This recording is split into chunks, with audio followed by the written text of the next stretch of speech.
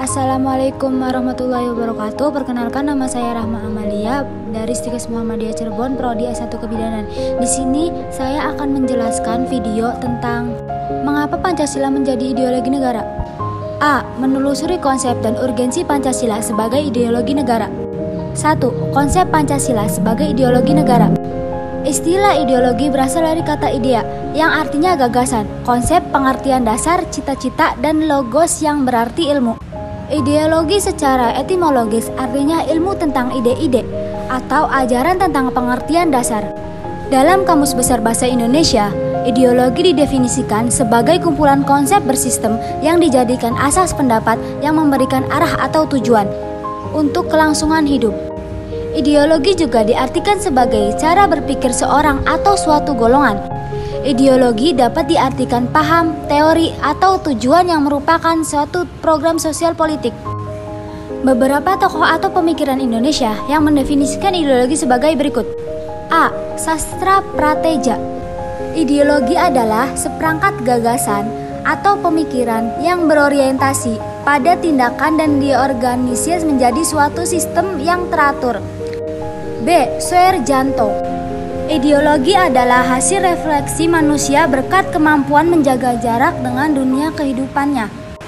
C. Mugbiarto Ideologi adalah sejumlah dekrin, kepercayaan, dan simbol-simbol sekelompok masyarakat atau suatu bangsa yang menjadi pegangan dan pedoman kerja untuk mencapai tujuan masyarakat atau bangsa itu. C. Paul Hirsch Ideologi sebagai relaksasi sosial Hirsch meletakkan ideologi di dalam kalkulasi dan konteks politik.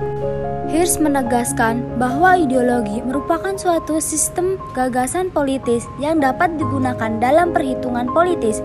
Lebih lanjut, Hirsch menegaskan bahwa penggunaan istilah ideologi mengacu kepada kompleks nir kesatuan, praktik sosial, dan sistem perwakilan yang mengandung konsekuensi dan arti politis. Untuk lebih memperdalam pemahaman, berikut ini beberapa corak ideologi. A. Seperangkat prinsip dasar sosial politik yang menjadi pegangan kehidupan sosial politik yang diinkorporasikan dalam dokumen resmi negara. B. Suatu pandangan hidup yang merupakan cara menafsirkan realitas serta mengutamakan nilai tertentu yang mengurangi kehidupan sosial, politik, budaya. C. Sesuatu model atau paradigma tentang perubahan sosial yang tidak dinyatakan sebagai ideologi, tetapi berfungsi sebagai ideologi, misalnya ideologi pembangunan.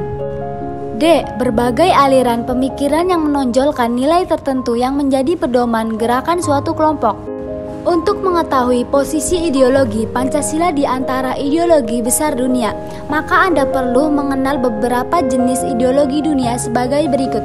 A. Marxisme Leninisme Suatu paham yang meletakkan ideologi dalam perspektif evaluasi sejarah yang didasarkan pada dua prinsip. Pertama, penentu akhir dari perubahan sosial adalah perubahan dari secara produksi. Kedua, proses perubahan sosial bersifat dialektis. B. Liberalisme Suatu paham yang meletakkan ideologi dalam perspektif kebebasan individual, artinya lebih mengutamakan hak-hak individu. C. Sosialisme Suatu paham yang meletakkan ideologi dalam perspektif kepentingan masyarakat Artinya, negara wajib mensejahterakan seluruh masyarakat atau yang dikenal dengan konsep welfare state. D. Kapitalisme Suatu paham yang memberi kebebasan kepada setiap individu untuk menguasai sistem perekonomian dengan kemampuan modal yang ia miliki. 2. Urgensi Pancasila sebagai ideologi negara Pancasila sebagai ideologi negara menghadapi berbagai bentuk tantangan.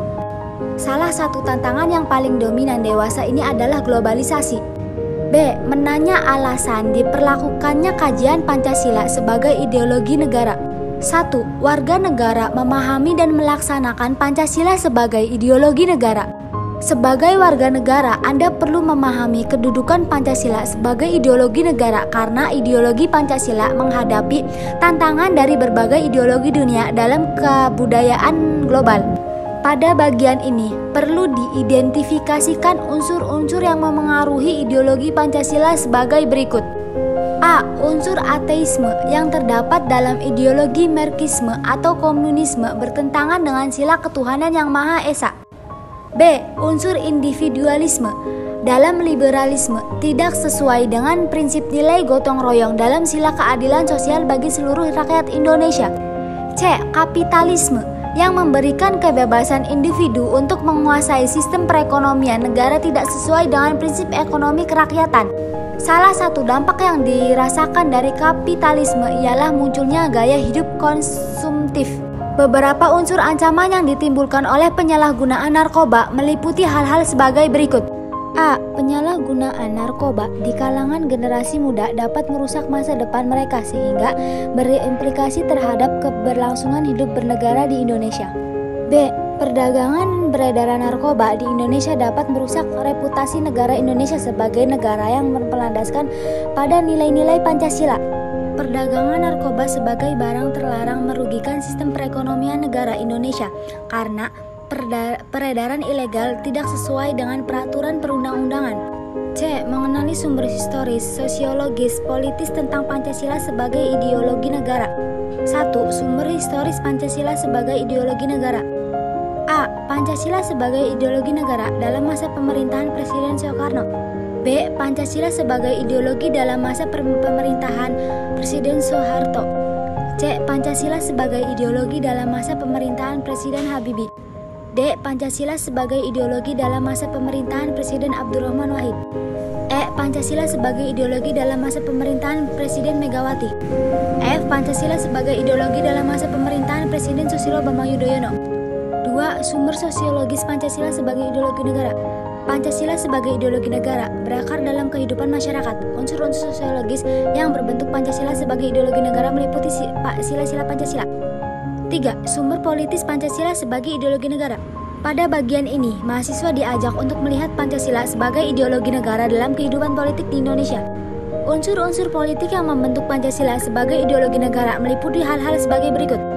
D. Membangun argumen tentang dinamika dan tentang Pancasila sebagai ideologi negara. 1. Argumen tentang dinamika Pancasila sebagai ideologi negara. Dinamika Pancasila sebagai ideologi negara dalam sejarah bangsa Indonesia memperlihatkan adanya pasang surut dalam pelaksanaan nilai-nilai Pancasila. Pancasila sebagai ideologi negara dalam masa pemerintahan Presiden Soekarno, sebagaimana diketahui bahwa Soekarno termasuk se uh, salah seorang perumus Pancasila. Bahkan penggali memberi nama untuk dasar negara. Dua argumen tentang tantangan terhadap Pancasila sebagai ideologi negara. Berbagai tantangan terhadap Pancasila sebagai ideologi negara, unsur-unsur yang mempengaruhi tantangan terhadap Pancasila sebagai ideologi negara meliputi faktor eksternal dan internal. Adapun faktor eksternal meliputi hal-hal berikut. Adapun faktor internal meliputi hal-hal sebagai berikut. A. Pengertian rezim yang berkuasa melahirkan kebijakan politik yang berorientasi pada kepentingan kelompok atau partai sehingga ideologi Pancasila sering terabaikan. B. Penyalahgunaan kekuasaan atau korupsi mengakibatkan rendahnya kepercayaan masyarakat terhadap terhadap rezim yang berkuasa sehingga kepercayaan terhadap ideologi menurun drastis. E. Mendeskripsikan esensi dan urgensi Pancasila sebagai ideologi negara. 1. Hakikat Pancasila sebagai ideologi negara. A. Dimensi realitas mengandung makna bahwa nilai-nilai dasar yang terkandung dalam dirinya bersumber dari nilai-nilai real yang hidup dalam masyarakatnya. Hal ini mengandung arti bahwa nilai-nilai Pancasila bersumber dari nilai-nilai kehidupan bangsa Indonesia, sekaligus juga berarti bahwa nilai-nilai Pancasila harus dijabarkan dalam kehidupan nyata sehari-hari balik baik dalam kaitannya dengan kehidupan bermasyarakat maupun dalam segala aspek penyelenggaraan negara. B. Dimensi idealitas mengandung cita-cita yang ingin dicapai dalam berbagai bidang kehidupan bermasyarakat, berbangsa dan bernegara.